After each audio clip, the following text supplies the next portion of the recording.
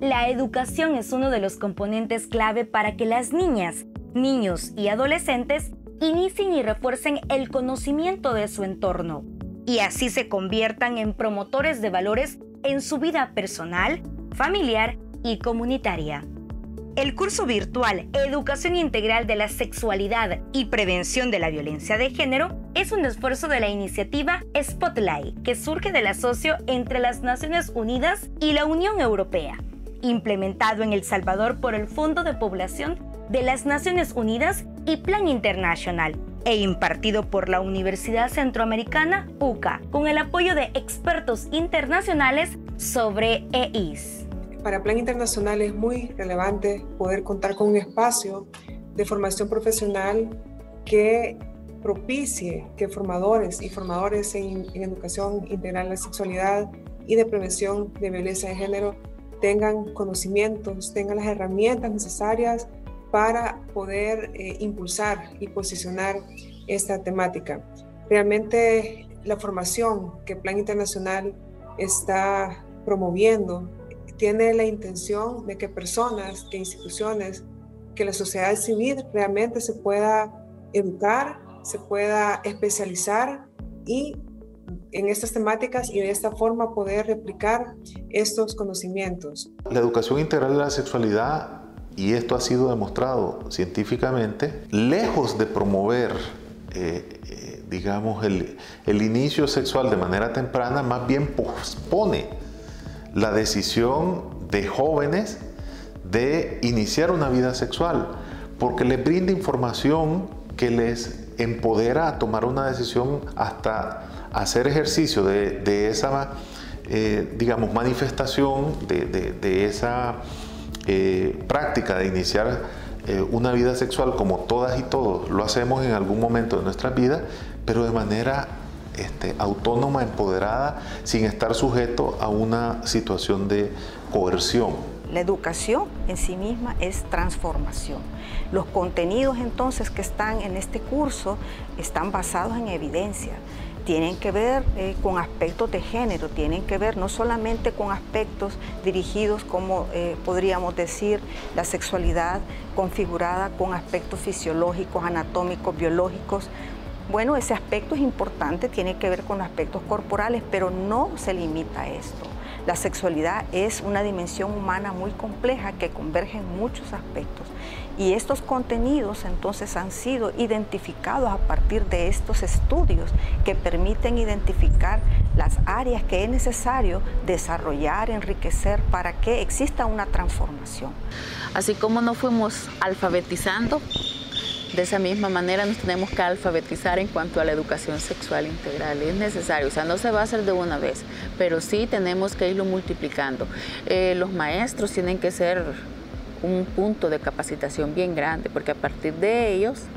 vamos a empezar a transformar. Generalmente el padre de familia tiene una educación, pero tiene una, una educación en su mayoría tradicional, una educación en la que incluso la familia ejerce violencia para los niños y niñas. Muchas veces se produce violencia en nuestros hogares, en nuestras familias, en nuestras casas y no lo percibimos como violencia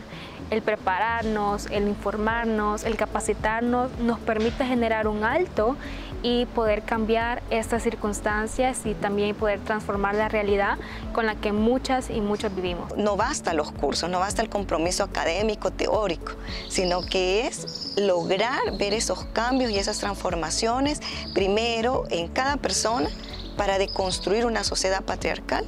de esos roles que nos han introyectado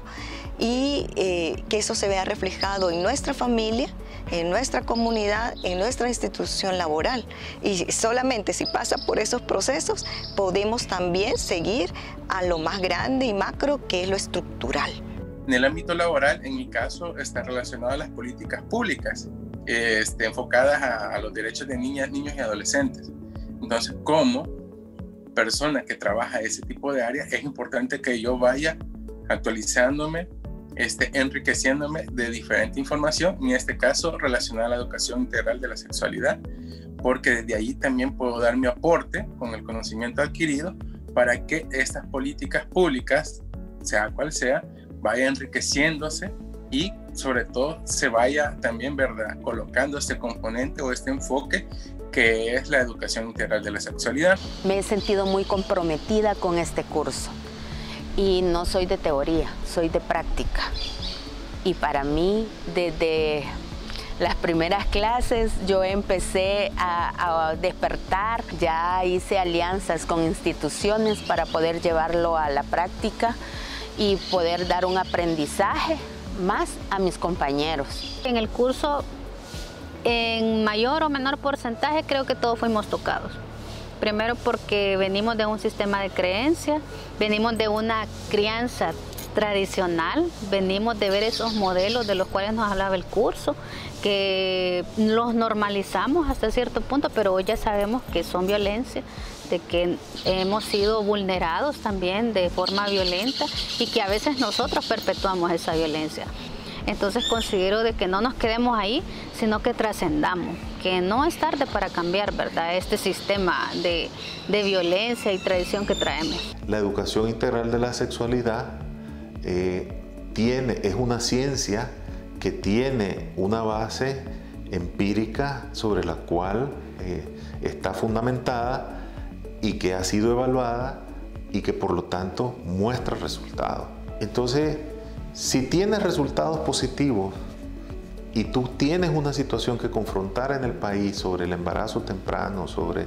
el VIH, sobre las infecciones de transmisión sexual, entonces hay que utilizarlo. El mensaje que yo le daría primero a, las organizaciones que crearon estos cursos que gracias, que se están comenzando a hablar de estos temas y para que nosotros como profesionales lo podamos replicar. Y a mis compañeros,